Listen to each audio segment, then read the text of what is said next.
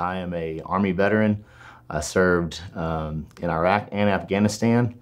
Um, Afghanistan was a really rough deployment for me. Um, I remember when I got there, one of the first things they did was they took me and my team and they took our pictures individually with the American flag in the background and they said we were guaranteed to see combat and that there was an 80% chance that we were going to get injured or get worse. I wasn't there very long before that happened um, where I was seeing combat and eventually got injured and eventually got sent back to the States before my unit to get further medical evaluations. And when I got back to the state, they diagnosed me with had, having suffered from a traumatic brain injury, and they also diagnosed me with having PTSD. Pretty much realized that any chance I had at furthering my military career was coming to an end. I felt very discouraged. Um, I felt like I was letting people down.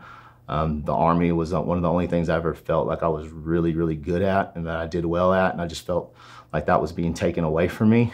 And at that time, they'd had me on around like 14 different medications, and um, I was still just didn't know how to cope, so I ended up turning to to drugs to try to deal with those problems, and that ended up causing me to be stuck in active addiction for about three years. And then uh, there's not really a, a rock bottom story to that. It's just one day God just said that that was enough, that He had a different plan for me.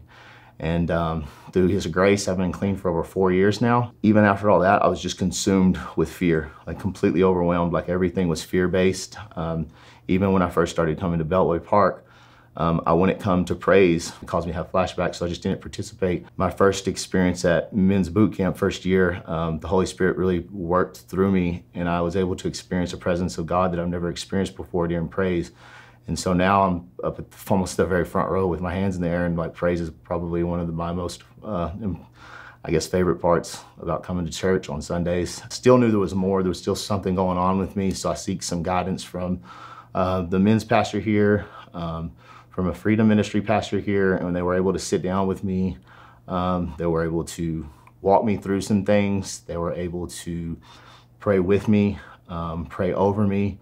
And what ended up happening is the spirit of fear was pretty much uh, was gone after that. Um, and the next day, like I was just so overwhelmed because for the first time and I don't know how long my mind wasn't racing. I wasn't overwhelmed with fear and worry and anxiety for the last four years as I've been clean, I've been on different medications, mood stabilizers, um, antidepressants, uh, migraine medications, night terror medications, and as of last month, I'm on no medications at all. Even today with what's going on in our world, like, I'm just not consumed with fear. It's not that I'm not concerned, but because of my personal experience and, and just experiencing how good our Father is and how much He really does love us in just my life, I know that He's good and that He's in this and that he's just going to continue um, to give us freedom from fear.